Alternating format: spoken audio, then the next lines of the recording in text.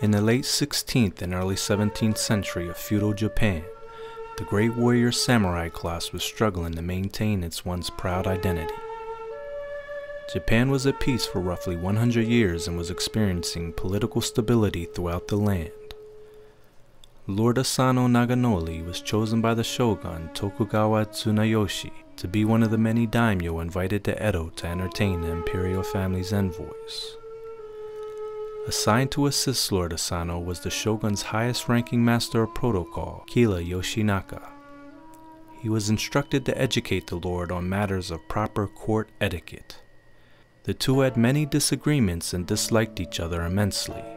Kira expected a monetary show of appreciation for his troubles, while Asano believed this was his duty and was what was expected from his title. Kira didn't take kindly to such disrespect towards a superior and continued to embarrass Asano at every possible moment. The two's dislike all came to a head when just before the ceremony was about to begin, Kira called Lord Asano a country boor with no manners. Unable to withstand the insults any longer, Lord Asano lunged at Kira with his sword, striking him in the face. Drawing a sword in the shogun's palace was a serious offense and attacking another man, specifically a superior, would earn you a one-way ticket to paradise. When questioned about his crimes, Lord Asano showed no remorse, saying he only regrets he did not kill Kira. The shogun handed down Lord Asano the honorable death sentence of Harakiri, but also seized his 50,000 koku fee for Ako and Harima. When news got back to Asano's castle, his ex-retainers, now Ronin, exchanged heated debate but ultimately settled on Oishi Yoshio's suggestion to surrender the castle peacefully and focus on a plan for revenge. Understanding the code of loyalty between a lord and his vassals, Kira became extremely paranoid.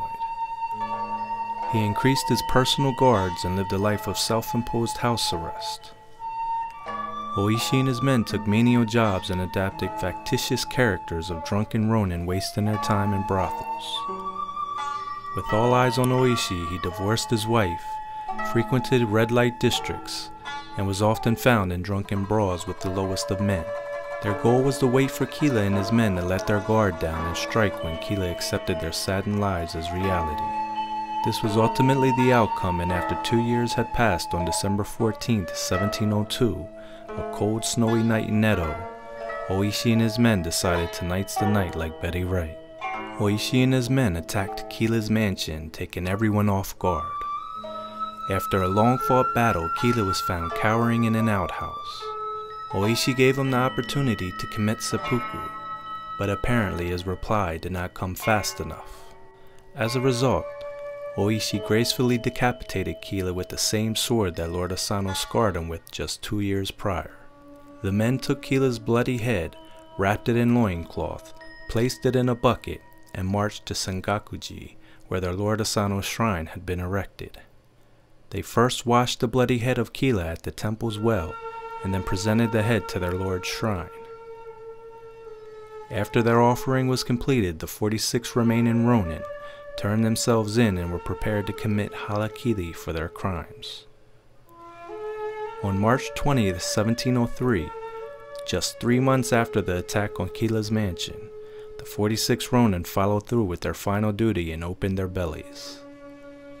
Their bodies were later cremated and buried at Sengakuji alongside their lord, Asano Naganori.